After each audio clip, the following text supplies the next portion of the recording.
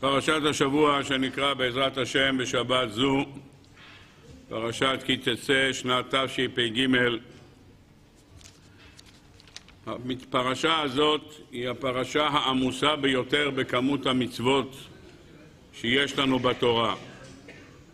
74 מצוות יש בפרשה הזו, ויש מצאו לכך רמז בפסוק שמע ישראל השם אלוקינו השם אחד שיש בה עין גדולה ודלת גדולה. שמע יש עין גדולה ובאחד יש דלת גדולה וזה רומז לעין דלת. עין דלת מצוות שיש כאן בפרשה שמסיימות כעדות על קיום המצוות.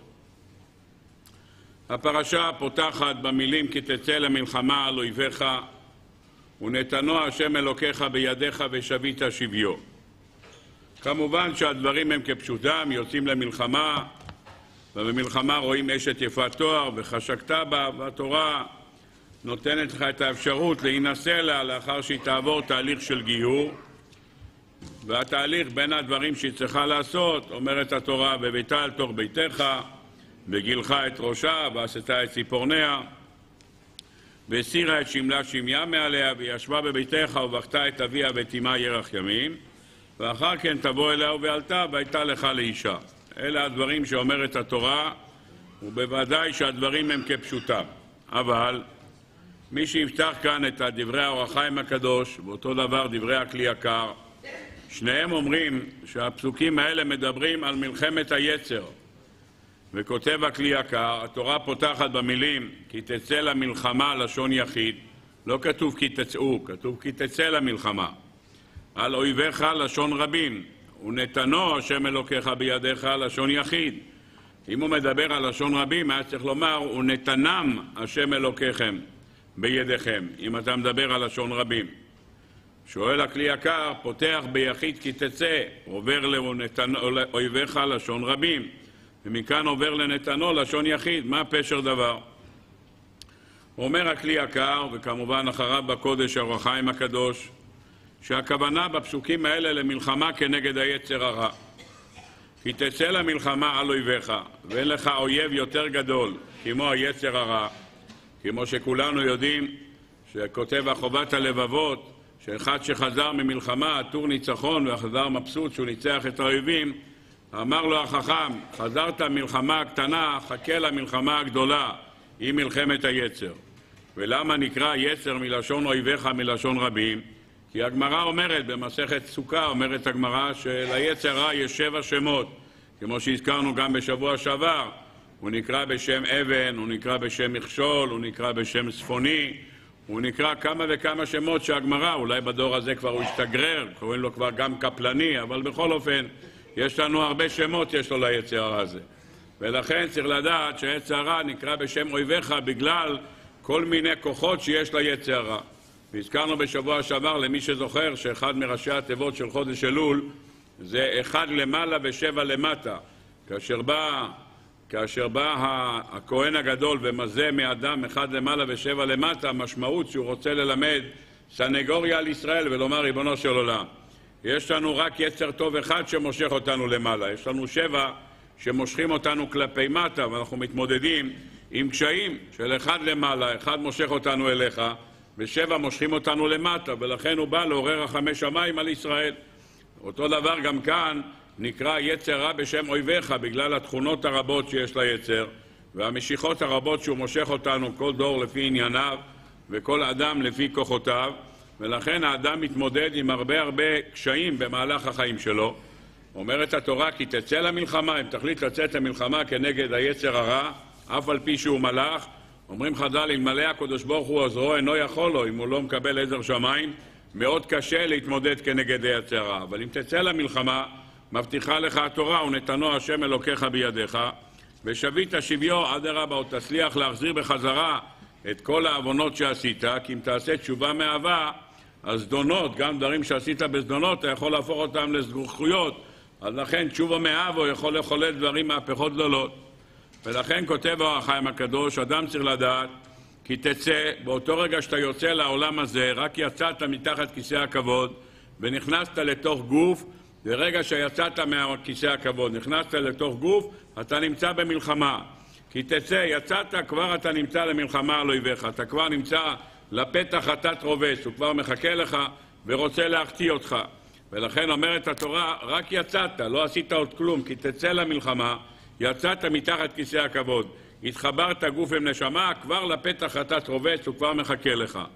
ולכן אדם צריך לדעת שהמלחמה הזאת היא מלחמה קשה, והמלחמה הזאת, אם תצא למלחמה ותרצה סייעתא דשמיא, הקדוש ברוך הוא ייתן לך את מלוא הכוחות כדי להתגבר על היצר הרע. ותוך כדי הדברים אומר לנו אור החיים הקדוש, מה שכתוב כאן, והסירה את שמלת שביה מאליה ובכתה את אביה ואת אמה, רומז כאן לאביה זה הקדוש ברוך הוא, ואת אמה זו כנסת ישראל, ובכתה את אביה ואת אמה ירח ימים, זה חודש אלול. חודש אלול זה הזמן שבו אדם חוזר בתשובה ועושה תשובה. עד כאן הדברים בקצרה שכותב אור החיים הקדוש, וכך כותב גם הכלי יקר. הבאנו את זה כפתיח בפרשה הזו, ואני רוצה בעזרת השם לעמוד על מצווה אחת בפרשה, ובעצם זה לא מצווה אחת, כי החינוך מונה אותה לשלוש מצוות, אבל זו מצווה אחת שקצת ננסה ללבן אותה ולחבר אותה בסייעתא דשמיא אל ימי הדין והרחמים, אל חודש אלול שבו אנחנו נמצאים. התורה הקדושה בפרשת השבוע, בפרק כ"ה, לקראת סוף הפרשה, עוסקת התורה במצווה שנקראת ייבום, ייבום וחליצה. אני אקרא את הפסוקים בפנים, נלמד אותם, ונלמד כמה וכמה יסודות נפלאים. כי ישבו אחים יחדיו, ומת אחד מהם, ובן אין לו. מה פירוש הדבר כי ישבו אחים יחדיו? לא הכוונה שאחים גרים בקומונה, כולם גרים באותו בניין. זה לא משנה אם האח גר בבאר שבע, או גר אחד גר בחיפה, והשני גר בעפולה, ואחד בנצרת עילית, זה לא משנה. הכוונה יחדיו, הכוונה שהם ביחד בעולם הזה. למה הנפקא מינה? הנפקא מינה לילד שנולד אחר שהאח נפטר. זאת אומרת, האח נפטר, וילד נולד, נולד אח נוסף שהגיע אחר כך. אומר כאן רש"י במקום, כי ישבו אחים יחדיו שהייתה להם ישיבה אחת בעולם, פרט לאשת אחיו שלא הייתה בעולמו. פירוש הדבר, כאשר אתה מגיע, נולד ילד אחר מכן, הוא לא שייך כבר לא לייבום ולא לחליצה, כי צריך שהוא יהיה פה בשעה שהאח נפטר. אם הוא נמצא כאן בשעה, אז הוא נמצא בפרשה של ייבום וחליצה. אם הילד הזה, אח של הנפטר, הוא בן שנה, צריך לחכות עד מתי שהוא יוכל או לייבם או לחלות. הרמב"ם כותב שייבום זה בגיל תשע וחליצה בשלוש עשרה. אז צריך להמתין עד מתי שאו שהוא מגיע לתשע או לשלוש עשרה. היום שלא מייבמים רק חולצים, צריך לחכות שהוא יגיע לשלוש עשרה. אלה הדברים שכתובים כאן. לכן התורה מדגישה ואומרת כי ישבו אחים יחדיו. יחדיו פירוש הדבר שכולם היו בעולם הזה.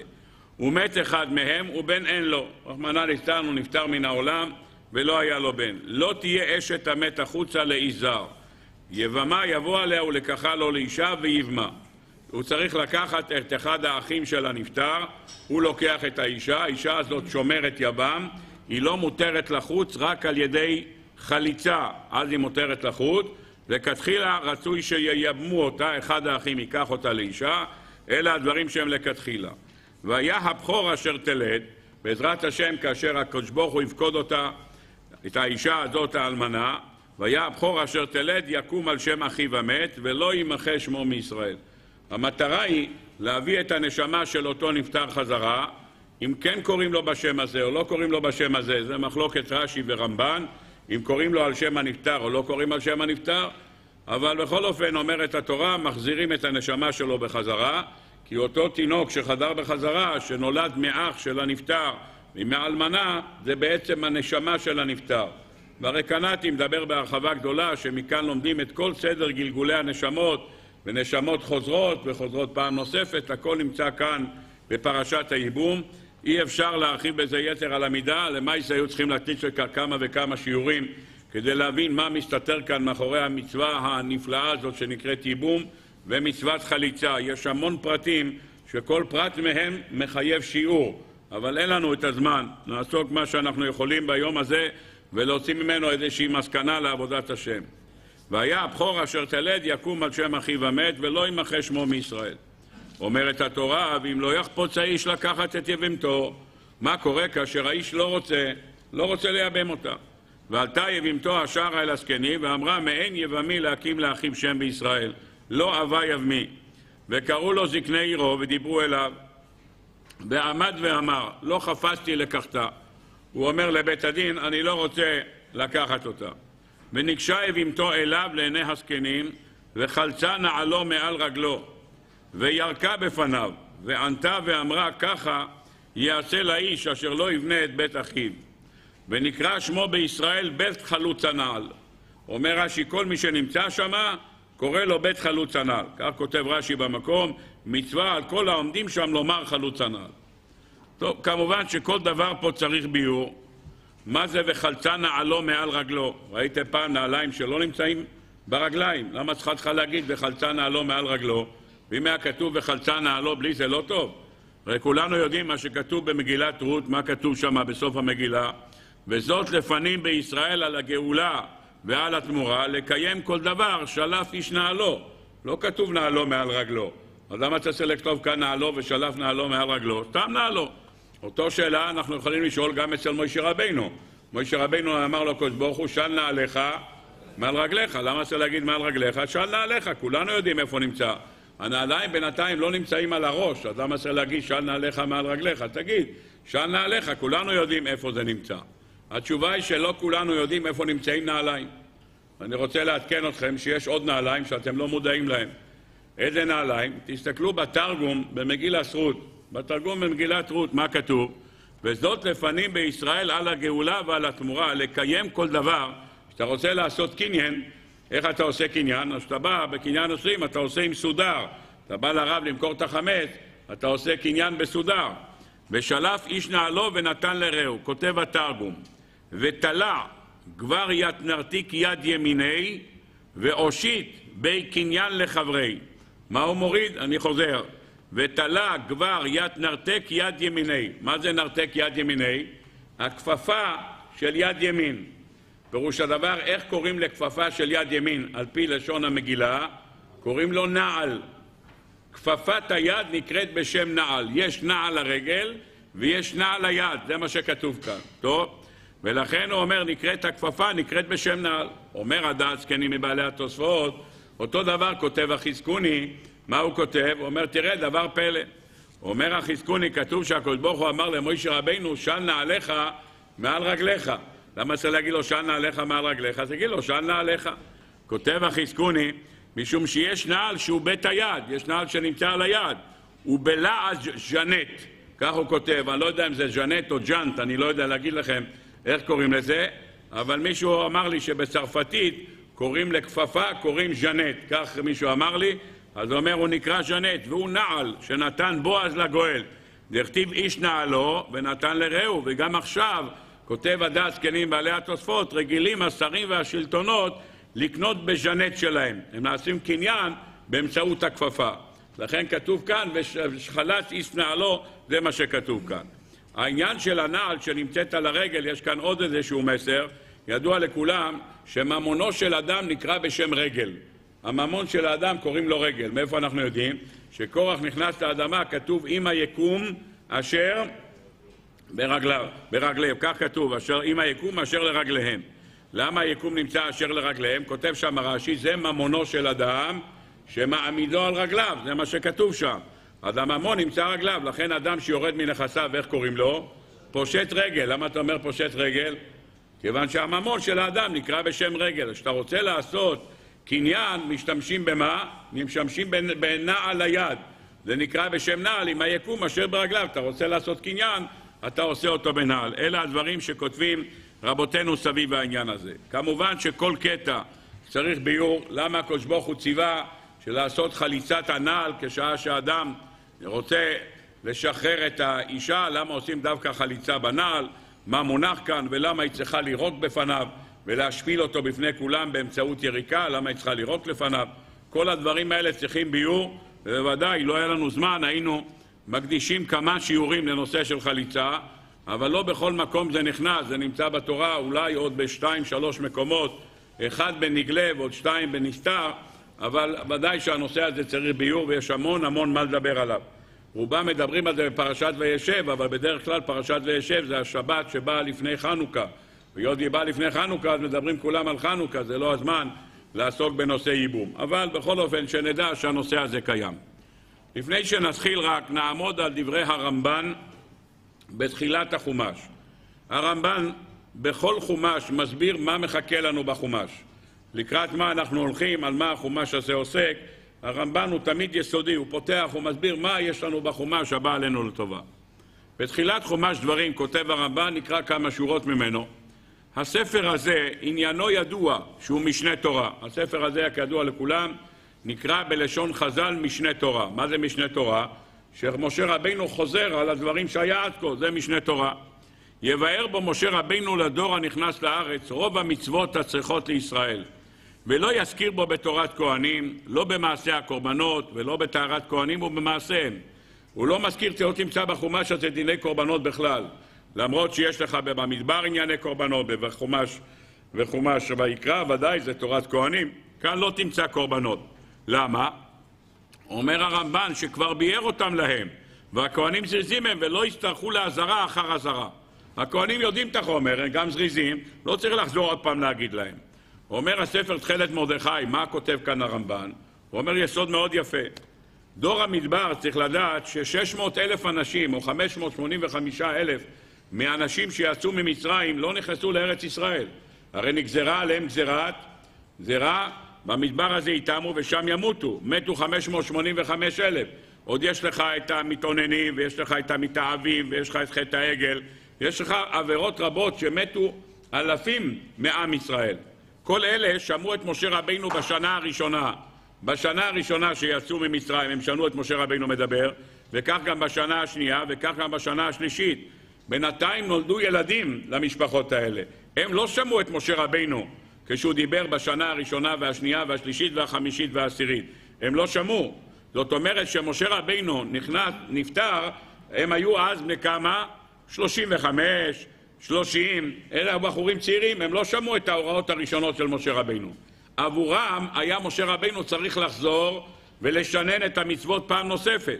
שבט לוי, אומר הספר תחילת מרדכי, הם לא מתו, הם לא היו בחטא העגל ולא היו בחטא המרגלים, לא שלחו, הם לא מתו. אז מה שמשה רבינו דיבר בהתחלה, כל האנשים האלה נשארו לחיות. אם כל האנשים האלה נשארו לחיות, אז אין צורך עוד פעם לדבר איתם על תורת כהנים. למה? הם כבר שמעו את תורת כהנים מתי שמשה רבנו דיבר. אז לא קרה שום דבר, לא השתנה. מי של עם ישראל, קרה להם שינויים. מתו כל כך הרבה אנשים בחטא המרגלים, בחטא העגל, במתאוננים, במתאהבים.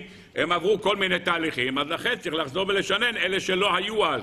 אבל שבט לוי, מההתחלה ועד הסוף, להם מתו במדבר, אז למי לא צריך לחזור ולשנן, כך אומר התכלת מרדכי. ממשיך הרמב"ן ואומר, אבל ישראל יחזור המצוות הנוהגות בהם פעם אחר פעם. לעם ישראל, היות וחלק מהם מתו וצריכים לשנן את הדברים מחדש, אז צריכים להזהיר אותם פעם נוספת.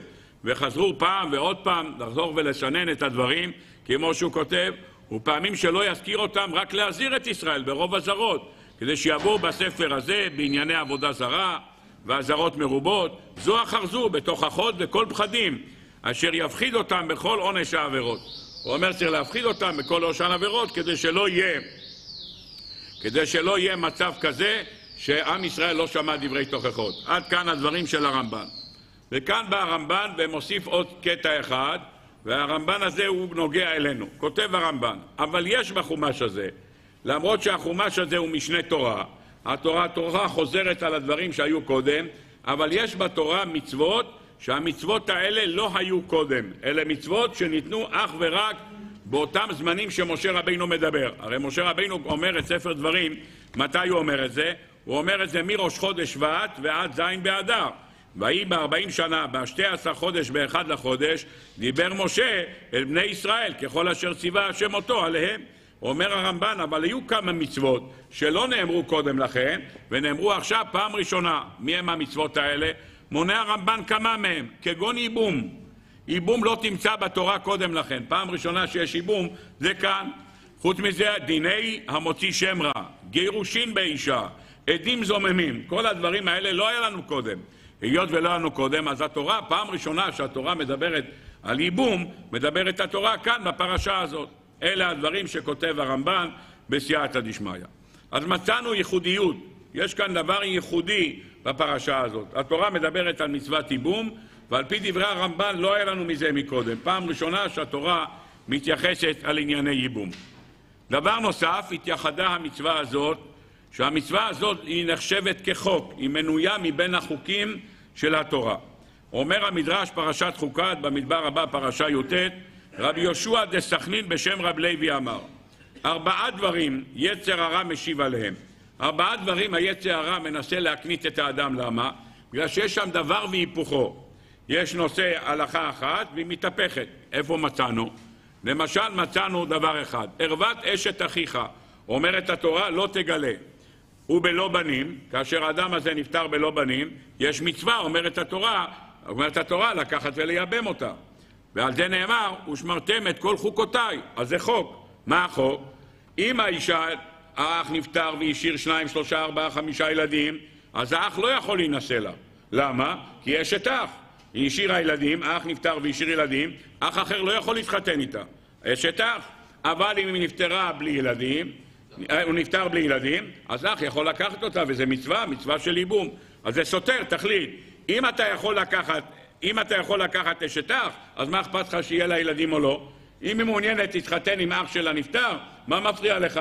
לא, אומרת התורה, אם יש לו ילדים, זה אשת אח, אסור להתחתן. אין ילדים, מצווה להתחתן. אז כאן השטן בא ומקטרג על האדם. אותו דבר גם כליים.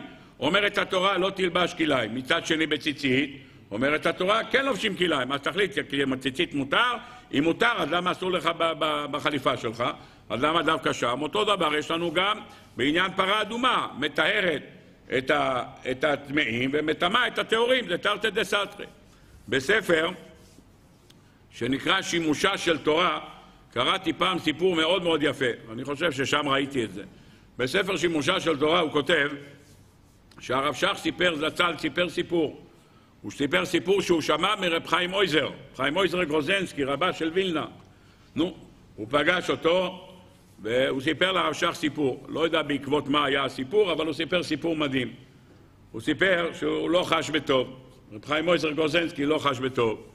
והרופא שלח אותו לעיירת מרפא, עיירת מרפא שנקראת קרלסברג. אני חושב שזה נמצא באוסטריה, אם אני לא טועה. זה, אה? צ'כיה? צ'כיה. קיצור, נסע לשם להתאווררות, נסע לשם לרפואה.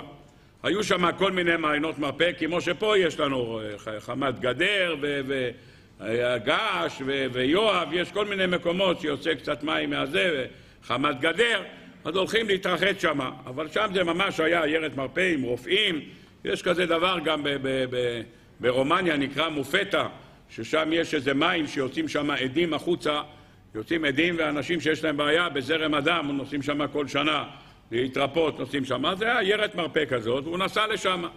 הוא נסע, שם רופא בודק אותך ואומר, אתה תהיה היום שבוע, אתה נחיה היום 20 דקות, מחר 25 דקות, רבע שעה, כך הוא היה בודק לחצם, אני לא יודע לפי מה הוא בדק, וככה הרשה להם. חיים מויזר היה שם, מגיע ראש השונה, הוא רוצה לחזור לווילנה, רבה של וילנה, ייעדר מן המקום בראש השנה, תקיעת שופר, המלאכה של המלך ברוב עם הדרת מלך. קיצור, הוא שואל את הרופא, יש סיכוי שאני חוזר הביתה? אומר לו, לא, לא נראה לי, אתה לא נראה לי שאתה משתחרר. הוא אומר, עדיין לא חזרת, ל... עדיין לא חזרת למצבך התקין. עוד כמה ימים. אז הוא נשאר שם בראש השנה. הגיע יום כיפור. חיים מויזר עם הדרשה שלו, חיים מויזר עם הדרשה שלו, היה דרשה מפורסמת מאוד. בקיצור, הוא בא לשם ו... והוא רוצה לחזור בחזרה לשבת הגדול. טוב. הוא אומר לו, אתה לא יכול לחזור לשבת הגדול, אתה צריך להישאר פה. מה, שבת תשובה, אתה לא יכול? הוא אומר, אתה צריך להישאר פה. טוב, אז מה יהיה? הוא אומר, התברר, צריך למשוך את זה עד יום הכיפורים. יום הכיפורים גם צריך להישאר שם. טוב, בקיצור, הוא התכונן לקראת יום הכיפורים במקום, מי נשאר שם? נשארו כמה חולים שצריכים טיפולים. כהבדיל, כמו בית חולים כזה, נשארים שם. היו שם אנשים שומרי תורה ומצוות. בקיצור, גם הוא נשאר. אומר, ערב יום כיפור הגיע בן אדם. הגיע בן אדם. הגיע בן אדם, והוא היה נראה שהוא לא בא מאזור וילנה, הוא לא בא מהאזורים האלה, נראה איזה אורח שהגיע ממקום אחר. ואז שואל אותו רב חיים מויצר, הוא בא לבית הכנסת, שואל אותו יד, הוא אומר שואל מלאכם, מהיכן קהת תימר? מאיפה כבודו בא? אז הוא אומר לו, אני באתי מאמריקה. אמריקה. יפה מאוד. אומר, וואה, אורח מאמריקה, שולמה לחם, נפלא ביותר. מה כבודו מחפש פה? אומר, מה שכולם עושים פה. באתי לעשות קצת אה, בריכות בשביל הרפואה. יפה מאוד. ואיפה אתה הולך אחרי זה? שואל אותו חיים מויזר. הוא אומר, אחרי זה, אומר, אני נוסע לווילנה. וילנה. מה אתה הולך לעשות בווילנה? הוא אומר, בווילנה יש לי גיסה. שואל אותו רב חיים מויזר, מה אתה הולך לגיסה? איפה אחיך? אז הוא אומר, אחי נפטר. אני, אם הרב רוצה, אני, הוא לא ידע שהוא רב חיים מויזר. הוא אומר, אם אתם רוצים, אתן לכם את התוכנית. אני עזבתי את המקום, גרתי פעם ב, ב, ב, שם בליטא באיזה מקום, ועברתי לארה"ב, עשיתי חיל בעסקיי, הייתי והפכתי להיות אדם עמיד מאוד, אבל מה לעשות, לא זכיתי להקים בית. שום אישה לא מצא חן בעיניי, וכשכבר רציתי, היא לא רצתה, זה כבר לא משנה. נשארתי כבר ככה, אני כבר מעל חמישים, אומר, אני כבר אין סיכוי שאני יקים בית בגיל הזה. זהו. אבל היה לי אח בווילנה, אדם מסכן, דלפון, והייתי שולח לו כל חודש, שנים. אני שולח לו כל חודש דרך הבנק, שולח, עושה העברה בביט, מעביר לו שם שלושת אלפים דולר, כמה שאדם צריך, אני יודע, למחיה, ארבע אלף דולר, שולח לו, שיהיה לו למחיה, זה הכל, יפה מאוד. לפני כמה חודשים גיסתי שלחה מכתב, מברק, שהיא רוצה להודיע בצער הרב יגון קודר, אח שלו נפטר, בעלה נפטר, וזהו. ומבקשת שישב שבעה. אז ישבתי שבעה באמריקה. נו, אחרי כמה חודשים, היא קולחת לי מברק נוסף ואומרת לי, תשמע, אתה אח תאום של בעלי. תאומים כידוע לכולם, הם תאומים סיאמיים, זה מה שנקרא תאומים זהים. נו, אז היא אומרת, אתה בעלי ואתה, זה אותו דבר, זה לא, אין שינוי.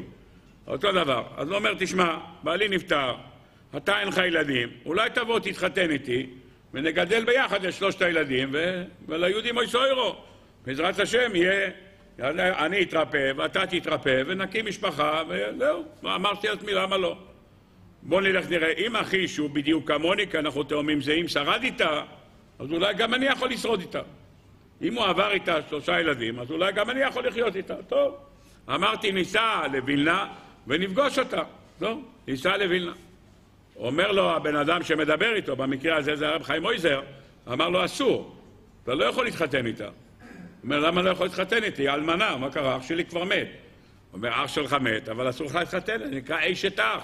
אסור לך להתחתן איתה, זה אחד מהאריות. אומר לו, אומר לו האורח מארצות הברית, אומר, תשמע, אני לא יודע מי אתה, אני רק רוצה לעדכן אותך שבדור הזה הרבנים מאוד מחמירים. מאוד מחמירים.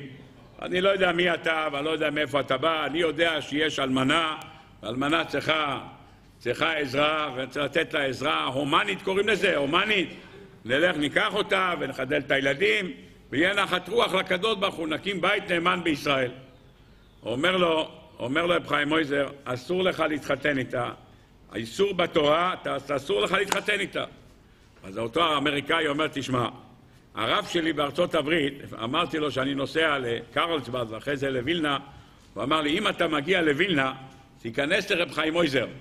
תיכנס לרב חיים מויזר, הוא חבר שלי, תמסור לו דש ממני, מהרב ברקוביץ', תמסור לו, מפלטבוש, תמסור לו בקשה, אני הייתי, הייתי רב באיסאי, אומר, תמסור דש. בסדר גמור. אומר, תשמע, אני נוסע לווילנה, אני אכנס לרב חיים מויזר, ואני אשאל את רב חיים מויזר, אני אביא לו דש מהרב ברקוביץ'. אני אשאל אותו מה ההלכה באמת, אתם פה, אני לא יודע מה זה פה, קרלסבד, רבנים קש... קשים כאלה. הוא אומר, בוא נשאל אותו. אומר לו חיים מויזר, אתה לא צריך לנסוע לווילנה. הרב חיים מויזר נמצא פה, לא צריך לנסוע. אומר, מה, באמת הוא פה? אומר, כן, במקרה אתה מדבר איתו. במקרה זה אני, אומר לו. אומר, מה, אתה רב חיים מויזר? הוא אומר, כן, אני רב חיים מויזר. הוא אומר, אני נמצא פה, נמצא פה, מתרפא כמו שאתה באת להתרפות, אבל אתה לא נוסע לווילנה. אתה גומר את הבריכות וחוזר בחזרה לביידן. הבנת? אתה לא נוסע לווילנה, אתה חוזר בחזרה שמה, מי היה אז? ג'ורג' וושינגטון כנראה מישהו. בקיצור, אמר, אתה חוזר שמה, אתה לא הולך לווילנה, בשום פנים ואופן לא. נו, כמובן שזה היה הוראה, וכך הוא עשה.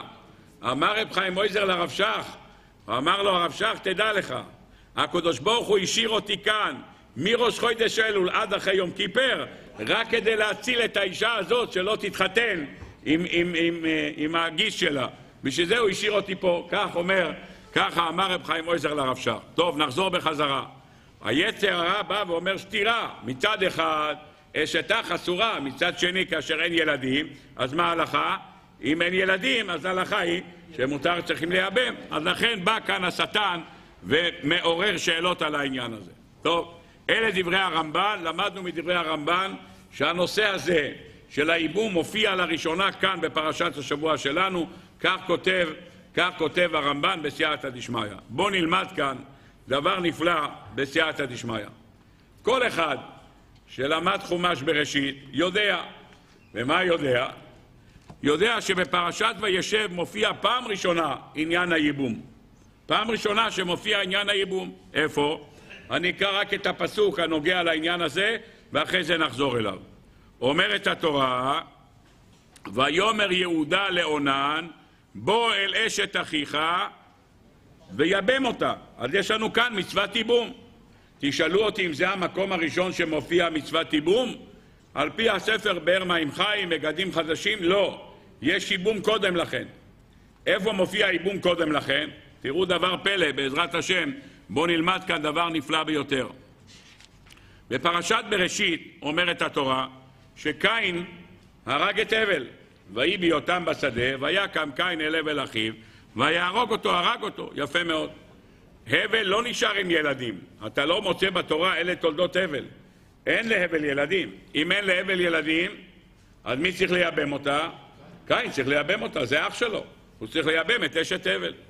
מייבם את אשת הבל או לא?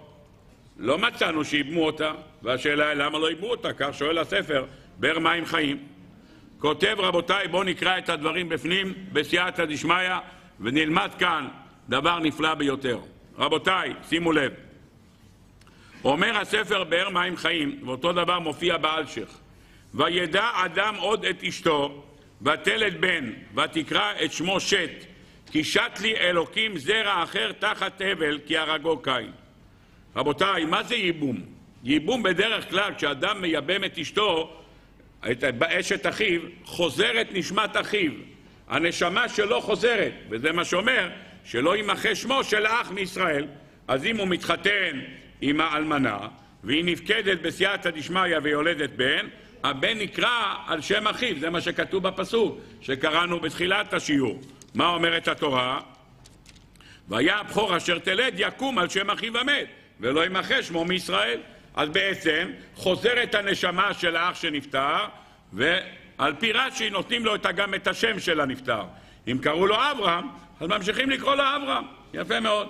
הרמב"ן אוחז שלא ככה, הוא מביא ראייה מרות שזה לא ככה, אבל בכל אופן, אלה הדברים שכתובים שם. טוב, אומרת התורה, וידע אדם עוד את אשתו, ותלת בן ותקרא את שמו שד. כי שת לי אלוקים זרע אחר תחת הבל, כי הרגו קין. אז איפה, אז איפה הבל? הבל לא חזר דרך קין. איפה הוא בא? הוא בא דרך אדם וחווה. הגיע שת, ושת זה בעצם נשמת הבל. זה מה שכתוב כאן. כי שת לי אלוקים זרע אחר תחת הבל אחיו. פירוש הדבר שמה? יש לך כאן ילד חדש שהוא בעצם נשמת הבל וקוראים לו שת. נו נשאלת השאלה, למה קין לא ייבם אותה? למה קין לא ייבם אותה? קין הוא הרח, אך צריך לייבם. או, השאלה ששואלים אחרים, למה האדם הראשון לא ייבם את אשת הבל? למה? כמו שיהודה ייבם את תמר, אותו דבר, אדם הראשון יכל לייבם את אשת הבל. נו, שאלה שכולם שואלים והמפרשים דנים בה, לא ניכנס עכשיו לכל העניין. אני רק רציתי להביא נקודה אחת, שנושא הייבום לא מתחיל בשנת 2150 לבריאת העולם, בתחילת הבריאה, כשקין רצח את הבל, כבר היה שאלה אם קין ייבם אותה או אדם ייבם אותה. זו השאלה שהייתה כבר אז. למעשה, הקדוש ברוך הוא לא הרשה שקין ייבם אותה. למה הוא לא הרשה שקין ייבם אותה?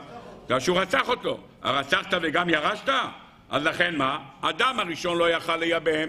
זו סוגיה בגמרא במסכת סנהדרין דף נ"ח, אם בן נוח מותר בביתו או לא. זו השאלה. אז לכן השאלה, והגמרא שם דנה, שבגלל זה הקדוש ברוך הוא לא לקח את חווה, כיוון שהוא לא יכול לקחת את ביתו. מילא כשקין לקח את אחותו והבל לקח את אחותו, זה עולם חסד ייבנה. אבל כשאדם הראשון ייקח את ביתו, זה שאלה של בן נוח, אם זה מותר או לא, זה הסוגיה שם, בגמרא במסכת סנהדרין, בפרק נ"ח. למעשה, קין היה צריך לייבם את אשת תבל, והקדוש ברוך הוא לא נתן. למה הוא לא נתן? כיוון שנאמר, הרצחת וגם ירשת. יכול להיות קטגור, נעשה סנגור, הוא זה שהרג את אח שלו והוא זה שידאג להביא את שם אחיו, ולכן כותב הספר מילה לאברהם בפרשת בראשית שהקדוש ברוך הוא לא נתן ומידת הדין דרשה שקין לא ייגע, לא יינשא לאשתו של הבל, לא הראשונה ולא השנייה, כי הרי ידוע על כולם שנולדו לו תאומות ביחד איתו, לא זאת ולא זאת בשום פנים ואופן לא. טוב, אלה הדברים. בספר חסידים, בסימן קפ"ז, כך מביא גם המגדים חדשים, הוא כותב, רוצח לא יישא את אשת הנרצח. אדם שרצח מישהו, נשארה אלמנה, יכול להיות שהוא יבוא ויגיד, תשמעי, את אלמנה, הרגתי את בעלך, באמת הרגתי אותו בלי כוונה, את יודעת מה, בוא, ניסה ניסה, אקח אותך לאישה, ניקח אותה לאישה, נקים בית, יהיה שיקום יפה. מה שנקרא, לקחתי את הראשון, הבאתי לך שני, אז אומר, בוא נקים בית מישראל בצורה הזאת. כותב הספר חסידים, הרוצח לא יישא אשת הנרצח, ובכנסת הגדולה ביער הטעם, כדי שלא יחמוד איש אישה בעולת בעל, כדי להיקחנה ויהרוג את בעלה. מה יעשה? יביים תאונת דרכים, יעשו לו לו לו משהו הזה, ובסוף יבוא אליה ויציע לה נישואים. לכן הוא אומר לא נעשה. אותו חשבון, אם אתם זוכרים, הבאנו בשם הריבו מבעלי התוספות, שלכן כהן גדול, אומרת הגמרא, אומרת התורה, והוא אישה בבתולה ייקח, הוא לא יכול לקחת אלמנה. אומר הריבו, מביא את זה גם אחידו, למה? כיוון שהוא נכנס לקודש הקודשים, הוא יכול לחשוב על מה? על אישה אחת שהוא נתן את עיניו בה והוא רוצה להינשא לה, אז מה הוא יעשה? הוא יתפלל לקדוש ברוך הוא, שמה? לקרב את בעלה לאביו שבשמיים, שיקח אותו למעלה, ושלום על ישראל, ואז היא תהיה פנויה, היא תהיה אלמנה, הוא יוכל להתחתן איתה. אומרת התורה, זה לא יעזור לך, והוא אישה בבתולי הכך, הוא לא יכול להינשא לאלמנה. שואל המגדים חדשים, אז למה אתה צריך להגיד והוא אישה בבתולי העיקר? אם הוא זה שגרם לה למות על ידי זה שהוא התפלל על בקודש הקודשים, אסור לו להתחתן איתה מדין מה שכתוב בספר סידים, שמה? שמי שהורג אישה, מי שהורג את בעל, לא יכול להתחתן עם האישה, אז גם כאן הוא לא יכול לקחת את האישה, אם הוא זה שהוא הרג את, את בעלה. אומר הספר מגדים חדשים, התשובה פשוטה, כשאתה הורג את בעלה על ידי תאונה, אז כולם יודעים מזה, אבל כשאתה הורג אותו על ידי קודש הקודשים, אף אחד לא יודע. אז לכן אומרת התורה, והוא אישה בבתולי העיקר, כיוון שאלמנה אתה לא יודע אם הוא יתפלל עליה או לא. עד כאן הדברים שכותב הספר מגדים חדשים, אז מצאנו כאן את הייבום הראשון, מצאנו את סוגיה שמתנהלת איפה? מתנהלת ביום שבו רצח, רצח קין את הבל, זה הסיבה כבר ששאלה אם קין יכול לייבם את הבל, או כמו שמצאנו אצל, אצל יהודה, שבסוף יהודה לקח את תמר והוא ייבם אותה לפני מתן תורה. והוא היה אבא, הוא היה אבא של ער ועונן, ועם כל זה, בסוף מי שייבם אותה זה האבא ולא. כותב הרמב"ן שלפני מתן תורה, אחד מבני המשפחה ייבם ולא משנה מי. אם זה אח או אבא או קרוב משפחה, כמו שמצאנו בכמה וכמה מקומות. טוב, עד כאן הדברים. בסייעתא דשמיא. בואו ניכנס לפסוקים בפרשת וישב, שם מופיע עניין הייבום בהרחבה גדולה. אומרת התורה, ויהי בעת ההיא, וירד יהודה מאת אחיו, ויד עד אש הדולמי ושמו חירה. מה קרה כאן? אומר כאן רש"י במקום, למה נצמחה פרשה זו לכאן, והפסיק בפרשתו של יוסף ללמדך שהורידו אחיו מגדולתו. האחים שלו הורידו אותו מגדולתו. וכשראו בצרת אביהם אמרו, אתה אמרת למוכרו, אילו היית אומר לנו להשיבו, היינו שומעים לך. פירוש הדבר, אם היית אומר לנו להחזיר אותו, היינו מחזירים. אתה אמרת למכור אותו. אם היית אומר לנו להחזיר אותו לאבא, היינו מחזירים אותו. בעומק של הדברים, מה קרה כאן? הם אחזו שמי ש... על מה שהם יצאו למכור את יוסף, מה היה הנושא של מכירת יוסף? היה פגיעה ביהודה. למה? כי עד עכשיו מי היה מהאחים נחשב? מי נחשב למלך? יהודה. אם יוסף חולם חלומות, המלוך תמלוך עלינו עם משול תמשול בנו, סימן שיוסף מערער במלכות של יהודה. לכן, כל המלחמה שהם ניהלו כנגדו, כנגד מורד במלכות. אז מי זה המלך? יהודה. לכן הם אמרו לו, הפגיעה הייתה בך.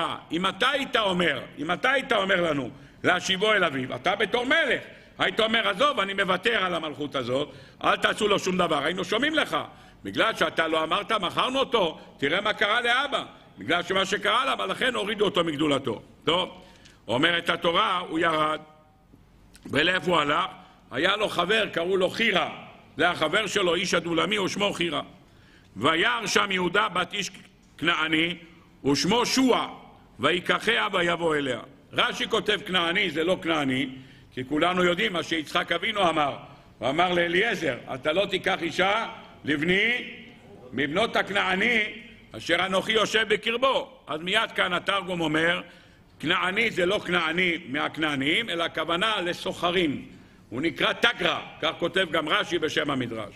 אז זה לא כנעני, למרות שיש שחולקים שאומרים שהיא כן הייתה כנענית, וכולנו יודעים שאחד הדברים שכתוב בחז"ל, בשעה שנשאו את ארונו של יהודה, הוא אמר שהשבטים יכולים לגעת בארונו, אבל הנכדים שכבר נשאו כנעניות, אסור להם לגעת בארון שלו.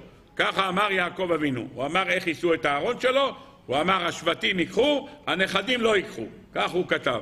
טוב, אבל במפרשים כאן מופיע שהיא כן הייתה, לא הייתה אישה כשרה, או שהיא הייתה מכנעני, או שהיא הייתה בכלל עובדת עבודה זרה, בת אל נכר. לא ניכנס לסוגיה הזאת, מי שירצה יעיין כאן ברמב"ן בהרחבה את מגוון הדעות שיש בפרשה שלנו בסייעתא דשמיא. הוא התחתן איתה, אומרת התורה, ותער ותלת בן, ויקרא את שמו, איך קראו לו? ער. זה הבן, אני רואה שאני קורא, נתתי לכם לקרוא כדי שיתעוררו קצת. ותער ותלת בן ותקרא את שמו ער, יופי. ותער עוד ותלת בן ותקרא את שמו עונן, יפה מאוד. ותוסף עוד ותלת בן ותקרא את שמו שלה. ויהי בכסי בלידתה אותו. לפני שנתקדם רק נעמוד על הערה של האלשיך. בבן הראשון כתוב, ותער ותלת בן ויקרא את שמו ער. אחרי זה ותער עוד ותלת בן, ו... אחרי זה מה כתוב? ותקרא. ותוסף עוד ותלת בן, ותקרא. מה כתוב כאן? אומר לנו אלשיך הקדוש על הפסוק הזה, השם הראשון, מי שנותן את השם זה הבעל. לכן כתוב ויקרא. הבן השני, האמא. לכן כתוב ותקרא. ותוסף עוד ותלת בן ותקרא את שמו שלה. איך את קוראה שלה? מי צריך לקרוא עכשיו? יהודה. למה כתוב ותקרא? אומר האלשיך הקדוש, אומרת התורה, אתה יודע למה היא קראה? והיה בכזיב בלידתה אותו, הוא לא היה בבית בכלל. הוא לא היה בבית, הוא היה בכזיב, לא היה טלפון להתקשר, אומרים, יהודה, מגיע מזל טוב, נולד לך בן, איך לקרוא לו? לא, אז לא היה, אז היא קראה לו שם, הביא המוהל, מעלו אותו, אז לכן יקרא השם, ירצה, יעשה שינוי. לכן כתוב המילים האלה. אלה הדברים שכתובים בפרשת השבוע שלנו, בפרשת וישב, וכך לומד האלשיך הקדוש. המעניין הוא, מאוד מעניין, יש ספר שנקרא עיקרי הדת. זה השם שלו. עיקרי הדת, אבל עיקרי הדת בדלת ט', לא בדלת ת'. המחבר של הספר, קוראים לו דניאל, ככה קוראים לו, דניאל טירני, זה השם שלו. אני חושב שהוא היה, היה באיטליה, כך אני חושב, והוא היה רב חשוב, לא יודע, לפני 200 שנה אולי, היה באיטליה כמדומני, אני אומר אה, מזיכרוני, והוא הוציא ספר, עיקרי הדת, ושם הוא אומר דבר מאוד מעניין. אני שוב, אני לא נכנס כל עדה עם המנהגים שלה. אצל ספרדים בעדות מסוימות קוראים את הילד הראשון שנולד על שם האבא של הזכר, על שם האבא של הבעל. הוא, הוא חי, הוא מת, זה לא משנה. קוראים על שמו, לפעמים הוא הסנדק וקוראים על שמו. הבן השני קוראים על שם חמיב, על שם האבא של האישה. זה מנהג, אני לא יודע להגיד לכם, מרוקאים, לא מרוקאים, אני לא מתמצא, כל אחד שיעשה כשיטת בית אבותיו. אצל אחינו האשכנזים קוראים שמות, אבל רק אחרי הפטירה, מי שקורא שמות. אמר לי תימני אחד, בתימן לא קוראים לא לפני, לא אחרי. לא קוראים, והיה אתמול אחד שיעור בתימ... בשיעור תימני אחד, הוא אמר לי שכן קוראים, הוא קרא לילדים על שם ההורים שלו, הוא לא יודע, אני לא יודע להגיד לכם, אני רק אומר מה שאמרו לי. אני חששתי בהתחלה, אולי הוא לא תימני, אבל הוא במקור, הוא תימני מתימן. אבל בכל אופן, זה כל אחד והמנהג שלו. טוב, צריך לדעת, העניינים של שמות, כל מיני, לא, לא צריך לעשות מזה מלחמות עולם, אבל הוא כותב, עיקרי הדת כותב ככה: בני אהרון, נדב ואביהו מתו, בהקריבה מזרה לפני השם. אתה לא צריך להסביר למה, התורה אומרת, בהקריבה מזרה לפני השם. למרות שבהקריבה מזרה לפני השם, הלאה בהקריבה מזרה לפני השם, יש 15 פירושים מה זה בהקריבה מזרה לפני השם, אבל זה מה שכתוב בתורה, זה הנתון שכתוב שם. אומר הספר, עיקרי הדת, למעשה נוהגים הספרדים לקרוא את השם הראשון על שם האבא, ואת השם השני על שם חמיב, ואהרון הכהן לא עשה את זה. למה לא עשה את זה?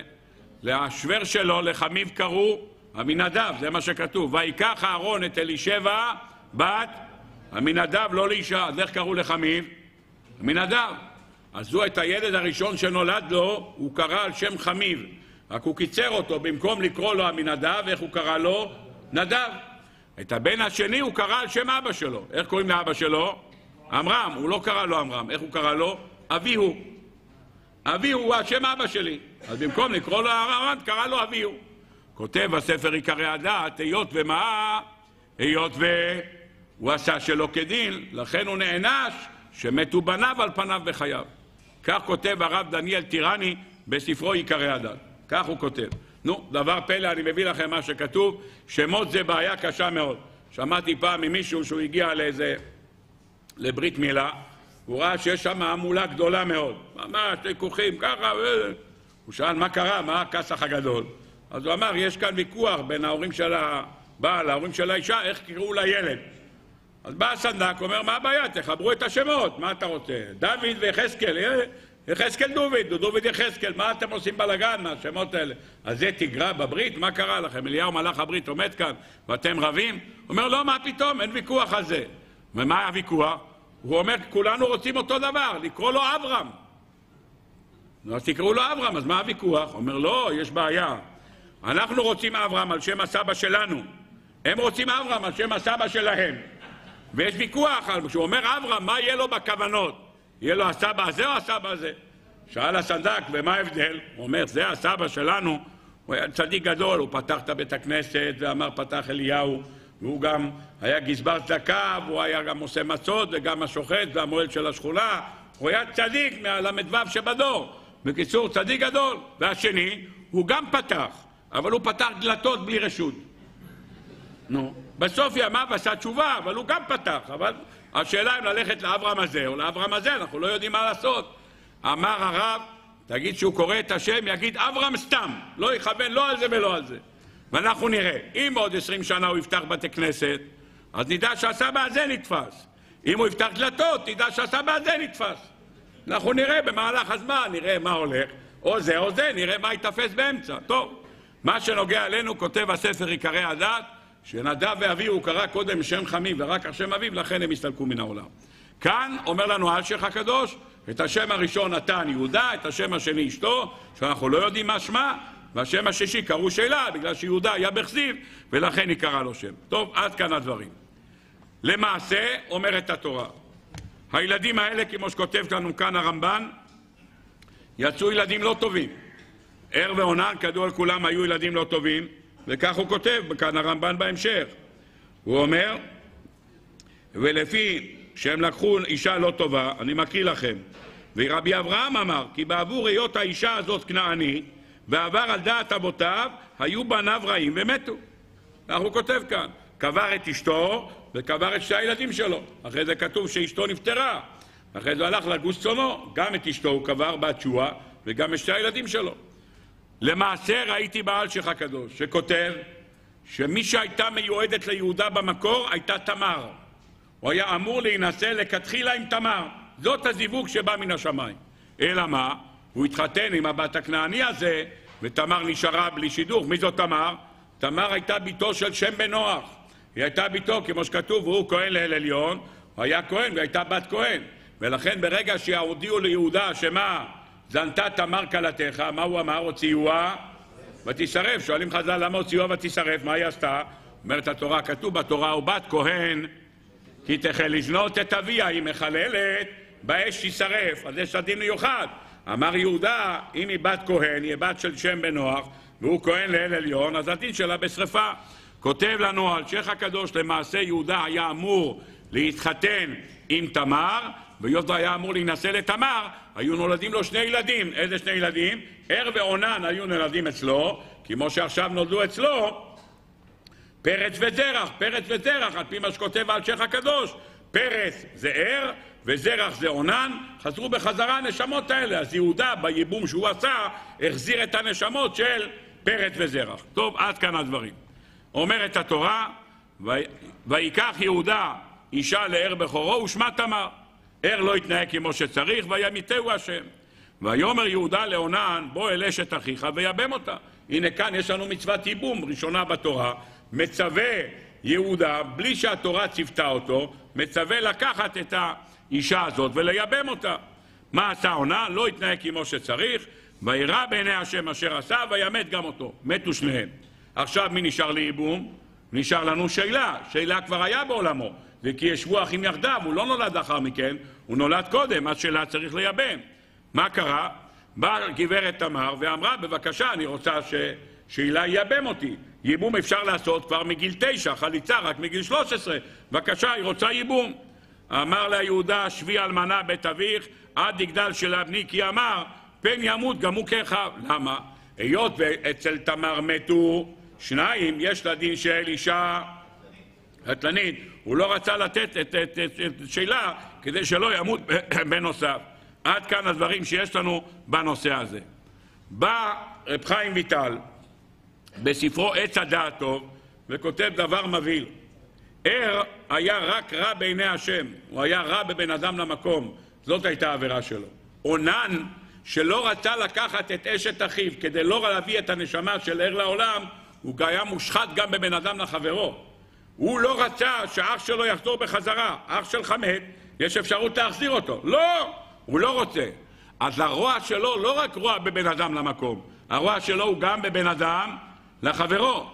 שאלה, לא היה לו שום בעיה. אומר רב חיים ויטל, הבן הראשון היה ער, היה רע בעיני השם כנגד בית ראשון. מה היה בבית ראשון? מה הייתה עבודה שעליה נחרב הבית הראשון? עבודה זרה. השני היה עונן, מה הוא היה לו? גם בבן אדם לחברו. בן אדם לחברו, מה זה שנאת חינם חרב הבית? שנאת חינם זה מה שהיה לעונן, ששנא את ער ולא רצה להביא אותו בחזרה לעולם. אז שנאת חינם נחרב הבית השני, לכן שניהם מתו. השלישי, שאלה, שאלה זה כנגד בית המקדש השלישי, שיישאר קיים לנצח. איפה מצאנו? שאלה מצאנו גם אצל יהודה, לא יסור שבט מיהודה ומחוקק מבין רגב, עד יבוא שילה ושם יקעת עמים. אלה הדברים שמופיע בדברי רבותינו. טוב. בא הרמב"ן בפרשת וישב בהרחבה גדולה מאוד ומדבר על העניין של הייבום. אנחנו נקרא ממש קצת רמב"ן ארוך מאוד. אני מקריא לכם מה כותב הרמב"ן. ויבם אותה והקם זרע לאחיך. הבן ייקרא על שם המת. כך כותב לשון רש"י. ואין זה אמת. זה לא נכון, אומר הרמב"ן. כי ממצוות התורה נאמר גם כן, יקום על שם אחיו המת, ולא ימחה שמו מישראל, ואין היבא מצווה לקרוא לבנו כשם אחיו המת. אם הוא רוצה לקרוא על שם אחיו המת טוב, אם הוא לא רוצה, אתה יכול לקרוא לו מה שהוא רוצה, יכול לקרוא לו חזקאל, או מה שאתה רוצה, אתה לא חייב לשום דבר. יפה מאוד. ואמר בבועז, וגם את רות המואביה אשר אשת מחלון קניתי לי לאישה, להקים השם המת על נחלתו, ולא יכרת שם המת ממכיו ומשאר מקומו. איך קראו לו? קראו לילד מחלון? שואל הרמב"ן. הילד קראו לו מחלון? איך קראו לילד? לא מחלון ולא כיליון. נו, אז איך קוראים לו? עובד. מי קרא לו עובד? השכנות. אני רוצה לשאול אותך אם היה לך שכנות שקוראים לילדים שלך שמות, לא היית עובר דירה על המקום? נו, רבותיי, השכנות קראו לו עובד. אומר הרמב"ן, לא קראו לו לא מחלון ולא כיליון ושום שם לא קראו לו.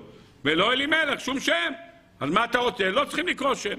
וכאן הרמב"ן ממשיך מאוד ואומר, עניין הייבום, כותב הרמב"ן, ומסודות התורה בתולדות האדם, וניכרו לעיני רואים אשר נתן להם השם עיניים לראות ואוזניים לשמוע. והיו החכמים הקדמונים קודם התורה יודעים כי יש תועלת גדולה בייבום האח, והוא הראוי להיות קודם בו ואחריו הקרוב במשפחה. כי כל שאירוע הקרוב אליו ממשפחתו הוא אשר יורש נחלה, יגיע ממנו תועלת. והיו נוהגים, כותב הרמב"ן, לישא אשת המת, האח, או האב, או הקרוב מן המשפחה. אחד מהמשפחה, לא בפני דין מתן תורה, או שהאח היה מייבם, או שהאבא היה מייבם, או הקרוב הגואל, כמו שמצאנו בבועז. בועז לא היה לא אח ולא אבא. מה היה בועז? יש מחלוקת בחז"ל הקדושים בין רבנן לרבי יהושע בן לוי. אם בועז היה אח של אלימלך, או שהיה בן אח, אם הוא היה בן של סלמון, אז הוא בן אח, סלמון וטוב ו- ובועז היו אחים. אז ממילא אתה מוצא איזה שלושה אחים, אז מה הוא בן אח? מה הוא קשור לבן אח? יש דוד שלפניו, טוב לפניו, שהוא יגאל, אומרת לו שבועז גל, הוא בכלל לא קשור, אבל הוא מהמשפחה. למרות שבועז זה כבר אחרי מתן תורה, אבל זה גם לא ייבום. זה לא ייבום, כי אין אחים. לאלימלך לא נשארו ילדים, אז ממילא זה לא שייך. עד כאן הדברים שכותבים רבותינו בעניין הזה, מי שירצה יעיין כאן ברמב"ן בהרחבה גדולה מאוד בסייעתא דשמיא.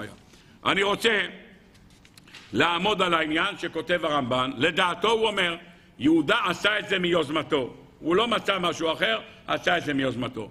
כמובן שהרמב"ן קודש קודשים ואין לנו רשות לערער אחריו, אבל במדרש בשיר השירים, בשיר השירים א' אות ה', אומר המדרש, רבי אליעזר אומר, משל למלך שהיה לו מרתף של יין. היה מלך, היה לו מרתף של יין. הגיע אורח אחד, מזג לו את הכוס הראשון. בא אורח שני, מזג לו את הכוס השני. כיוון שהגיע בנו של המלך, נתן לו את המרתף. אבי הבן של המלך, הוא לא מזג לו כוס, אמר לו, כל המרתף שלך, בבקשה כבודו. כך אומר המדרש, אדם הראשון הצטווה על שבע מצוות. מאיפה לומדים את זה? מפסוק אחד בפרשת בראשיס. ויצב השם אלוקים על האדם לאמור, מכל עץ השגן אכול תאכל. זה מה שכתוב. ויצב, אומרים חז"ל במדרש, זה עבודת כוכבים. השם זה קללת השם שנאמר, ונוקב שם השם אות יומת. אלוקים אלו הדיינים, שנאמר, עד האלוקים יבוא דבר שניהם. על האדם זה שפיכות דמים. לאמור זה גילוי עריות. מכל עץ הגן תאכל זה גזל. נוח נתווסף לו עוד מצווה נוספת. מה נתווסף לו? עבר מן החי. אברהם נצטווה על המילה, ויצחק חנכה לשמונה ימים. הוא נצטווה בגיל 99. יצחק מתי? לשמונה ימים. יפה מאוד. יהודה נצטווה על היבמה. מה שכתוב כאן, שיהודה ציוו אותו על היבמה, שנאמר, ויאמר יהודה לאונן, בוא אל אשת אחיך ויבם אותה. ישראל, כיוון שנהיה עם ישראל, קיבלו כל מצוות תעשה ולא תעשה. זה מה שאומר המלך, ברגע שהגיע הבן של המלך, הגיע הבן של המלך, נתן לו את כל המרתף, הגיע עם ישראל, נתן להם את כל המצוות. במדרש וויהי קורא בפרש ב' אות י', משמע שיהודה עשה את זה בלי ציווי. זו הייתה יוזמה שלו, הוא יזם את העניין הזה. המעניין שהרמב"ם בהלכות מלוכים מונה את הכל מה שנסתווה האדם הראשון ואברהם, שהוא מגיע לייבום של יהודה הוא לא מזכיר את זה. למה? מעניין, הרמב"ם בהלכות מלוכים לא מזכיר את זה. סימן שמה? שבאמת ייבום זו הייתה יוזמה של, של, של יהודה, כמו, שהר... כמו שמובא במדרש, שבא יעקב אבינו ונסתווה על גיד הנשה. גיד הנשה זה משמע שעם ישראל יזם את זה, על כן לא יאכלו בני ישראל את גיד הנשה עד היום הזה. אבל אומר המדרש, יעקב נסתווה על הדבר הזה. טוב, עד כאן הדברים. שכותבים רבותינו סביב העניין הזה בסייעתא דשמיא. למדנו בקצרה מאוד את הנושא הזה שנקרא בשם ייבום. אני רוצה ברשותכם להגיע לאיזשהו יסוד גדול בעבודת השם, שנלמד מתוך הפרשה הזאת עד כמה שידנו משגת. כדי להבין את הדברים, אילו היינו יכולים, היינו צריכים לתת כמה וכמה שיעורים. למה? בגלל שאנחנו צריכים לדעת למה צריכים להוריד לו את הנעל, למה צריכים לחלוט לו את הנעל, ולמה צריכים לירוק עליו, לפניו? כי כולנו יודעים כמה התורה מזהירה שלא לבייש שום אדם בעולם, וכמה צריך להיזהר שלא לפגוע בשום אדם. וכאשר אדם גנב או גזלן, יש הבדל בין, בין שור לבין שא, כי זהו סחב ולא סחב. התורה כל כך משגיחה על צער של בן אדם, וצער הכלימה אמר ממוות, כותב לנו, כותבים רבותינו הראשונים, כמה אדם צריך להיזהר על בנת פנים, וכמה תמר נזהרה שלא להלבין את פניו של יהודה. ורק אמרה לו, בבקשה, הקרנה למי החותמת והפתילים, ואם היה אומר לא מכיר שום דבר, אז לא היה קורה שום דבר. ואתה רואה כמה נזהרו שלא לבייש, ואהרון הכהן ומשה רבינו לא רצה ללכת לגאול את ישראל, כיוון שאהרון יכול להיפגע. וכאן התורה, קבל עם ועולם, אומרת בבקשה, וירקה בפניו, היא יורקת בפניו. איזה מין תהליך זה, מה מונח כאן בעניין הזה של הריקה בפניו? מביישים אותו בפני כולם וקוראים לו כולם בית חלוץ הנעל. יכלת להגיד לו לחלוץ את הכובע בלי צריך הרבה פרוצדורות ויקרא בית חלוץ הכובע, למה צריך דווקא לקחת את הנעל? כמובן שכל פרט כאן צריך בבקשה ביאורים שלמים, למה יריקה ומה מונח כאן ביריקה ומה קורה כשהם מתחתנים וכולי וכולי, כל הדברים האלה צריכים ביאור. צריך לדעת רק דבר אחד, שמדאורייתא, כמו שכותב כאן וכאן אור החיים הקדוש, הוא לא חייב להתחתן איתה ולהישאר איתה כל החיים. הוא יכול לייבם אותה פעם אחת ואחרי שהוא מייבם אותה פעם אחת, הוא נותן לה גט והיא הולכת הביתה. היא לא צריך לחיות איתה, כתוב, ולא תהיה לו כאישה. אבל בכל אופן, עם כל זה, כותב לנו כאן אור החיים הקדוש, ולכן אומרת התורה, ויבמה יבוא עליה ולקחה לו לאישה ויבמה. אז מה כתוב כאן? שהוא לוקח אותה, ולוקח אותה ותהיה לו כאישה, כותב אור החיים הקדוש. הזרה לה ולבאים וחיוב מלכותי, והבא עליה, ואומרו יבמה יבוא עליה, רמז שאין חיוב על היבם, אלא אחת. פעם אחת הוא מתייחד איתה, קיים את המצווה, קיים את המצווה, אם נולד ילד בבקשה, ואם לא נולד ילד, אז לא. מצאנו אצל מי? אצל רות ובועז. הוא ייבם אותה. כמה זמן הם היו? פעם אחת, לילה אחד, למחרת הוא נפטר. יהודה ותמר, כמה זמן הם היו ביחד? פעם אחת. אז אם הקדוש ברוך הוא רוצה, אז זה נעשה בפעם אחת. אומר החיים הקדוש, לא צריך יותר מזה. יש ירושלמי, מופיע גם בבבלי, מופיע גם בבבלי בקי"ח, אמר רבי יוסי בן חלפתא, חמש פעמים בעלתי וחמש נטיות נתתי. ומה נינון? מי הם? רבי שמואל ברבי יויסי, ורב לוזו ברבי יויסי, ורבי חלפתא ברבי יויסי, ורב טילס ברבי יויסי, ורבי מנחם ברבי יויסי. חמש פעמים. כותב הירושלמי, הביא אותו אור החיים הקדוש, שרבי יוסי בן חלפתא נפלו לפניו חמש יבמות. חמישה אחים שלו נפטרו מבלי להשאיר ילדים. והוא ייבם את כל אחת מהם, ומכל ייבום הוא בא והתייחד איתם פעם אחת, ומכל פעם העמיד בן אחד. וזה חמישה שנקראים בשם רבי יוסי. למדנו מכאן שזה מצווה, כותב אור החיים, אבל פעם אחת. אלה הדברים שכותב לנו אור החיים הקדוש, והדברים ודאי צריכים להתבהר בהרחבה.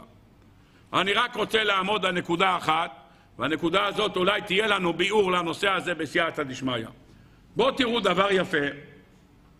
בשנה הבאה אולי נוכל קצת להרחיב בזה יותר, אבל יש כאן דבר מאוד מאוד מעניין. בפרשס מיקץ, אנחנו בדרך כלל זה הפטרה של חנוכה. הפטרה של חנוכה במיקץ. פרשת וישב היא בדרך כלל לפני מקץ. בשנה הבאה עלינו טובה, שנת תשפ"ד. אם לא יבוא משיח עד אז ויקדשו את החודש על ידי ראייה, הסדר שכתוב בלוח, שהנר האחרון של חנוכה הוא ביום שישי. שבת היא שבת רגילה. שבת מקץ, שבת רגילה. מה מפטירים? כאשר מקץ לא יוצא בחנוכה, זו הפטרה מאוד נדירה. מה מפטירים אז? בואו נקרא את ההפטרה.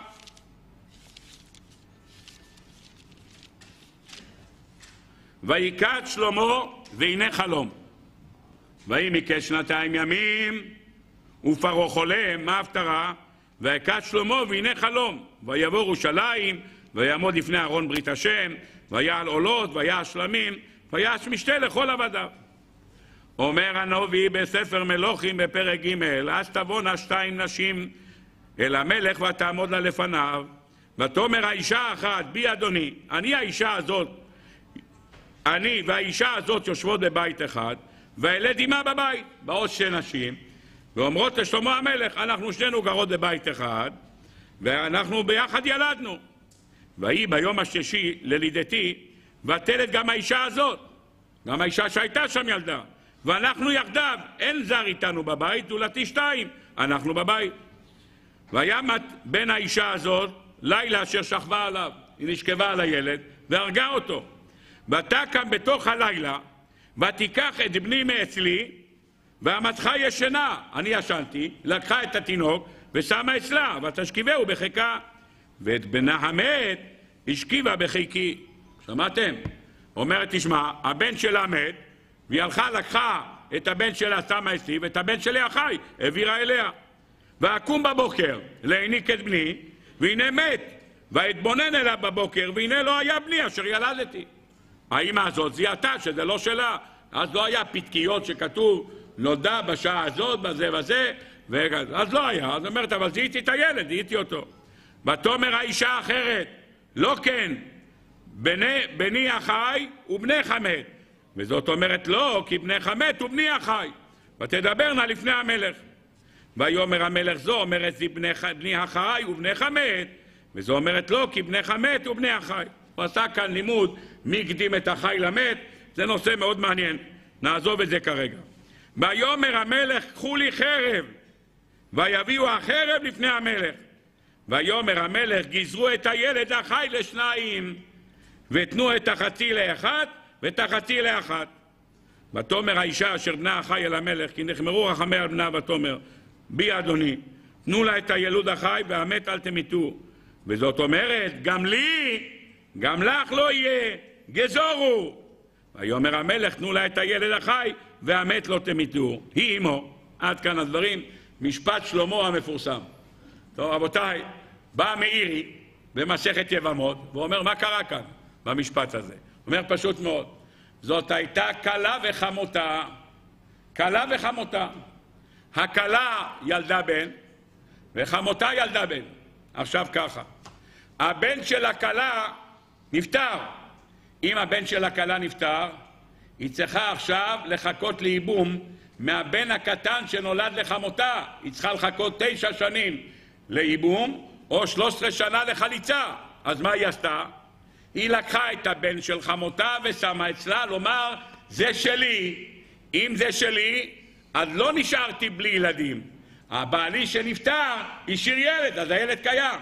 לחמותי אין ילדים, אז אין כבר בן שאני צריכה לחכות שיחלוץ או ייאבם. אז מה שהיא עשתה כאן, היא לקחה את שלה. באותו רגע שבא שלמה ואמר, בוא ניקח את הילד ונחתוך אותו, היא הייתה מבסוטה, למה? כי באותו רגע שחותכים אותו, היא גם כן לא צריכה לחכות. למה היא לא צריכה לחכות? כי באותו רגע שהילד הזה מת, אז זה לא לה ולא לחמותה, והיא משוחררת לשוק. אז לכן היא אמרה גזורו, לא אכפת לה שיגזרו. למה? כי עד איזה שיגזרו כבר לא יהיה הילד הזה בעולם, לא יהיה בעולם, לא יהיה דבר שיתקע אותה. כך כותב המאירי בביאור העניין. טוב, נפלא ביותר. רבותיי, אני רוצה רק לעמוד על שאלה אחת לפני שאנחנו מגיעים אל הליבה של השיעור.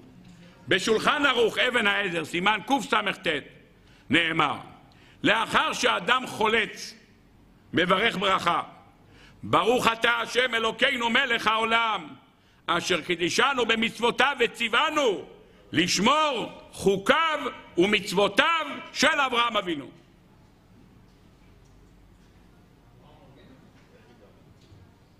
הרב, הקראתי לכם שולחן ערוך. אני חוזר. אשר קידישנו במצוותיו וציוונו לשמור חוקותיו ומצוותיו של אברהם אבינו. אז בשלמה ברית מילה. אתה אומר להכניסו בבריתו של אברהם. אבינו מובן. מה שייך החליצה? אם היה כתוב פה אשר קידישנו מצוותיו וציוונו לשמור חוקותיו ומצוותיו של יהודה, הייתי אומר טוב מאוד. למה? כי הבאנו מקודם מה אומר המדרש בשיר השירים, מה אומר המדרש? אברהם נסתבר על המילה יצחק, חנך אותה, ואחרי זה מה?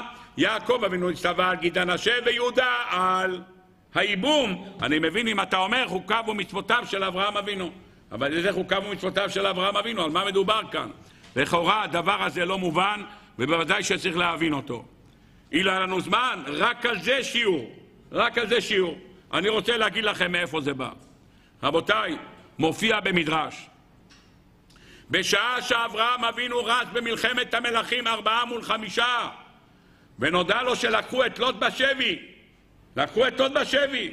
ברגע שלקחו את לוט בשבי, וירק את חניכיו ילידי ביתו, וירדוף, הוא רודף אחריו. ומה הוא עושה? הוא מחזיר בחזרה את, את לוט ואת סדום ואת רכושו, הכל חוזר בחזרה. אחר כך יוצא לקראתו מלכי צדק מלך שלם, לא נקרא את הפסוקים בפנים כי זה ארוך, יוצא מלכי צדק משלם והוא כהן עליון, מה הוא נותן לו? לחם ויין, והוא כהן עליון. מגיע מלך סדום, מה אומר לו מלך סדום? מה הוא אומר לו? מה אומר לו? תן לי הנפש והרכוש, קח לך. מה אומר לו אברהם? עם איכות והצרוך נעל. אומר לו יעקב אבינו, מחוט, אומר לאברהם אבינו, עם איכות והצרוך נעל, ולא תאמר, אני השארתי את אברהם. חז"ל הקדושים אומרים, מה פתאום, מה אמר עם חוט והצרוך נעל? אמר, אומר המדרש, המדרש רבה, נאמר אותו בקצרה. אומר המדרש, אתה יודע מה זה? היות בו אמר עם איכות, אתן לבניך חוט של ציצית. והיות ואמר ואצרוך נעל, אתן לבניך יבמה וחליצה. יוצא שהמתנה של ייבום וחליצה, מי קיבל אותה? אברהם אבינו. מתי? בשעה שהוא הלך, בשעה שהלך להציל את לוט. מה כתוב בפסוק? בא הפליט ויגד לאברהם העברי. מה הוא אומר לו? הוא בא ומודיע לו, תשמע, נשבע בן אחיך, נשבע, זה מה שכתוב כאן. היות ושמע שנשבע בן אחיו, אז מה הוא עשה?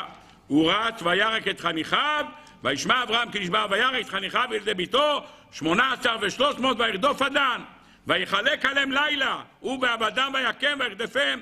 מחזיר בחזרה את כל הרכוש, מלכי צדק בא, ומלך סדום בא, ואומר בבקשה, תן לי הנפש והרכוש כך לה. ויאמר אברהם אל מלך סדום, הרימותי ידי אל השם כאל עליון, קונה שמיים וארץ, עם איכות ואצרוך נעל, ואם אקח מכל אשר לך ולא תאמר, אני השארתי את אברהם. אומרים חז"ל, אתה אמרת מיכות, יזכו בניך לציצית. אמרת שרוך נעל, יזכו בניך ליבמה וחליצה. טוב, מה הקשר? מה הקשר? אומר הספר נתיבות יצחק, דבר נפלא. דע לך, אתה יודע מה?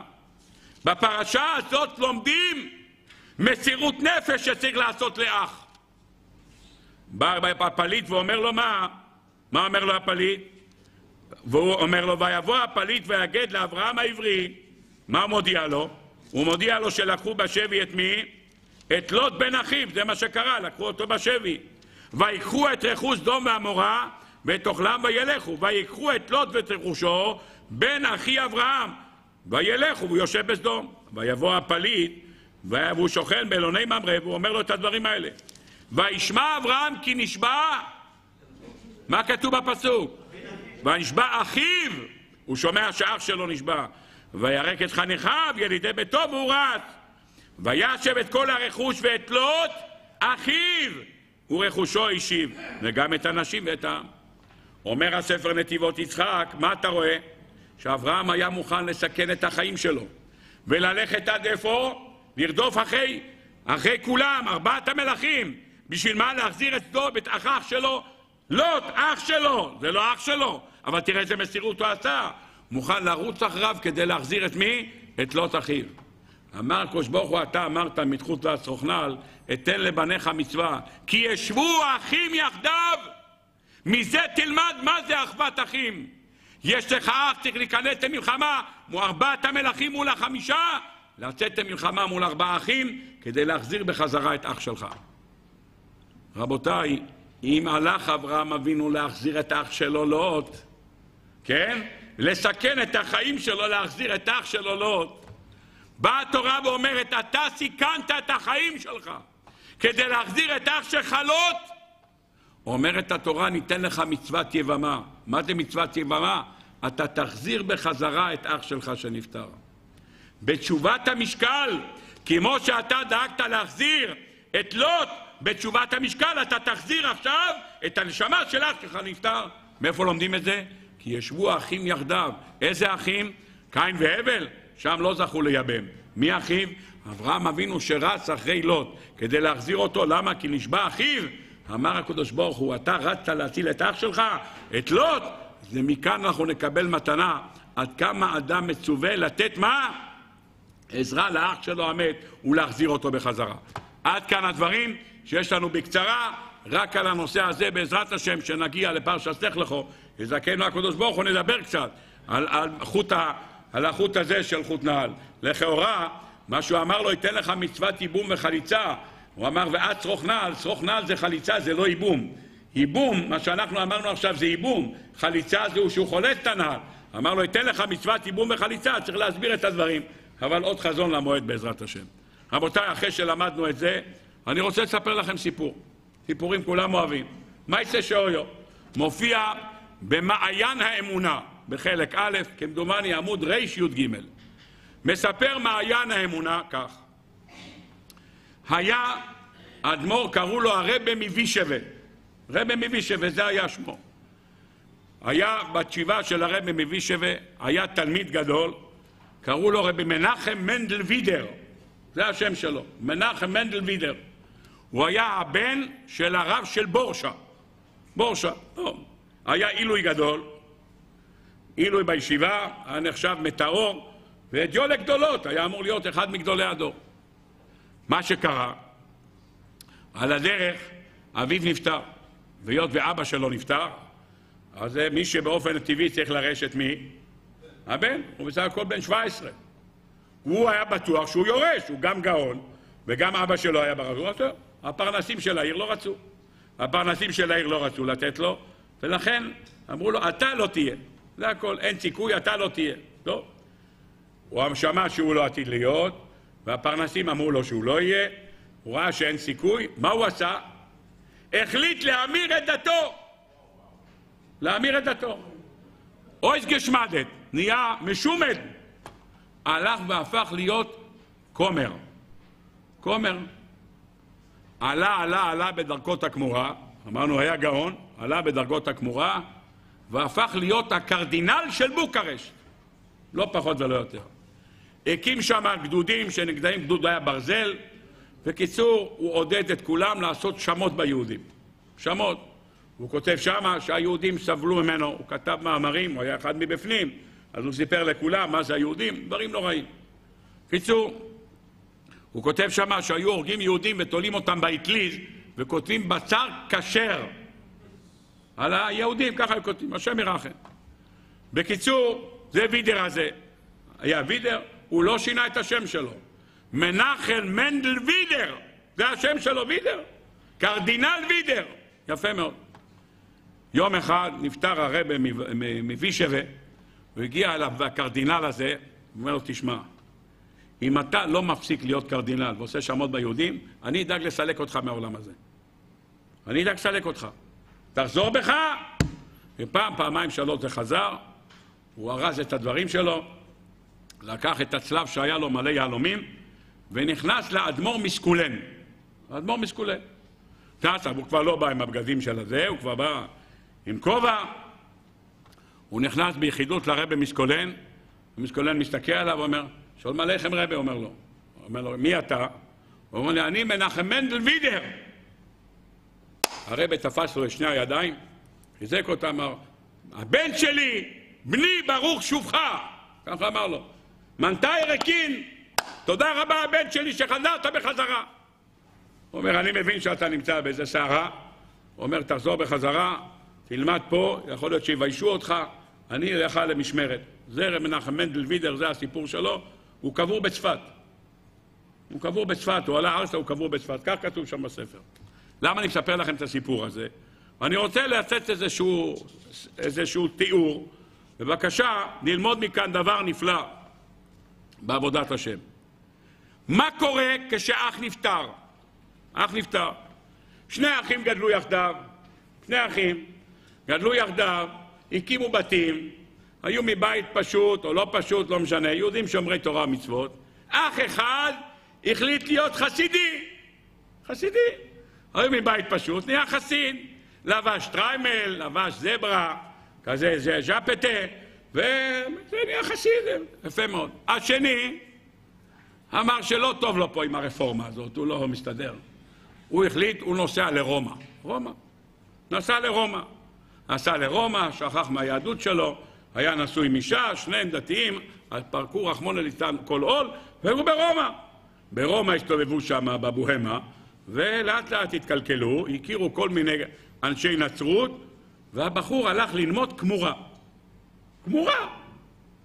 נו, כעבור כמה שנים, התמנה לכומר. עלה יותר לגדולה, נהיה קרדינל. קרדינל זה הסגן של. של הפופ, הוא הסגן שלו, יפה מאוד. נהיה קרדינל. נו, מה קרה? לקרדינל הזה נהרג בתאונת דרכים, בלי ילדים. בלי ילדים. מה הדין של אשתו? היא צריכה עכשיו ייבום וחליצה. או ייבום או חליצה. למי קוראים לייבם אותה? לאח הזה ממאה שערים. הוא בא עם שטריימל, עם כתונת פסים, הוא מגיע לרומא, מגיע לבית הדין, אומר, בבקשה, אני רוצה לייבם את איש גברת... מייבם או לא? אה? כן, מייבם. בסדר. להקים שם לאחיו. יחזור הקרדינל וידר עוד פעם. כן? בסדר, לא, אני שואל, אתה עושה ככה אם זה נראה לך פשוט. אני לא יודע. אתם אומרים כן, אני זורם איתכם, הכל טוב. יפה מאוד. בואו נראה ההפך. רבותיי, ההפך. מה קורה? הקרדינל יש ילדים, אבל להוא ממאה שערים אין ילדים. והוא נפטר. הוא נפטר, מגיע הכומר, מגיע הכומר, הוא רוצה לייבם את אשת אה, מאה שערים. כן או לא? לא יכול? מייבם. מייבם. זאת אומרת, הכל אתה, מבחינתך כולם טוב. טוב, אני הרב, אני הולך איתך, אין לי בעיות. הכל בסדר. אבל השליפות האלה זה דבר שצריך ללמוד לך לפחות 50 שו"תים כדי לענות את זה. בסדר, אתה אומר? לא. רבותיי, הלכה בשולחן ערוך. יש שתי דעות בשולחן ערוך, הלכה בשולחן ערוך. אם הקרדינל צריך לייבם את האי ממאה שערים, הוא לא מייבם. אבל להפך, כאשר ההוא ממאה שערים צריך לייבם את אשת הקרדינל, מייבמים. רבותיי, אני רוצה לשאול אתכם שאלה. להחזיר את המת בחזרה, איזה מת? הקרדינל הזה, להחזיר אותו בחזרה? מה אומרת התורה? ולא ימחה שמו בישראל, כך אומרת התורה. והיה הבכור אשר תלד יקום על שם אחיו המת, ולא ימחה שמו בישראל. לא ימחה שמו בישראל של הקרדינל? כן, תגידו כן. ככה אמרת, כן. בטח, מה חוזר בתשובה? הוא יכול לחזור בתשובה, הוא יכול לחזור גם כשהוא חי, הוא לא חזר. אבל אתה אומר, כן, הוא לא יכול לחזור בתשובה. בסדר, אני מוכן לקבל הכל. זה מה שכתוב כאן. בא אבני נייזר ושואל האם מותר להגיד על כומר כזה יימח שמו. מותר להגיד יימח שמו על כומר כזה. לא.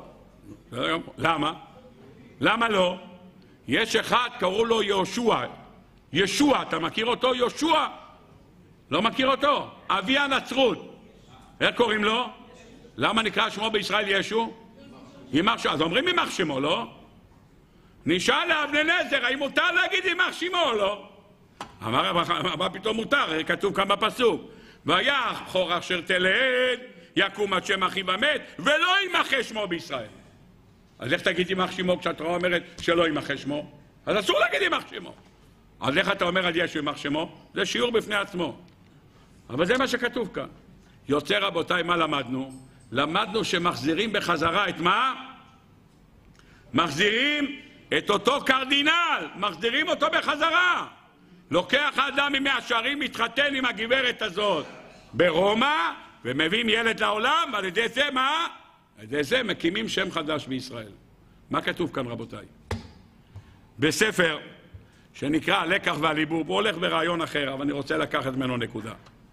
כשאנחנו מחפשים ראשי תיבות לאלול, כמה כבר הבאנו בשבוע שעבר, אה? בן פורת יוסף. היה בשפע, נכון?